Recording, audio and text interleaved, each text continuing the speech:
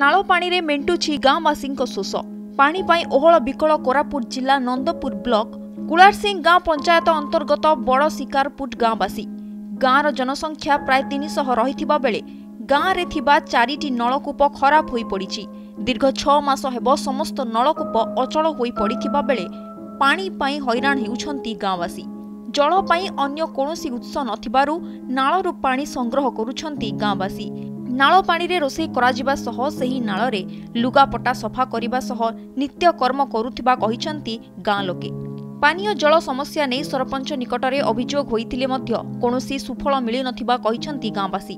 ଅନ୍ୟପଟେ ଦୂଷିତ ପାଣି ପିଇବା ଦ୍ୱାରା ବିଭିନ୍ନ ରୋଗରେ ସଂକ୍ରମିତ ହେଉଛନ୍ତି ଲୋକେ। ତେବେ ଅଚଳ ନଳକୂପଗୁଡ଼ିକ ତୁରନ୍ତ ମରାମତି କରିବା ଦିଗରେ ପ୍ରଶାସନ ଦୃଷ୍ଟି ଦେବାକୁ ଗାଁର ଲବକୁଶ ବଣ୍ଡା ବିଶ୍ୱନାଥ ତାଙ୍ଗୁଲ କୁଶ ଜର୍ସିଙ୍ଗ ଶାକା ଗମାଙ୍ଗ ପ୍ରମୁଖ ଦାବି କରିଛନ୍ତି। କୋରାପୁଟରୁ ଜ୍ଞାନଚାନ୍ଦ ଜଗନ୍ନାଥଙ୍କ ରିପୋର୍ଟ ସମ୍ବାଦ ଡିଜିଟାଲ।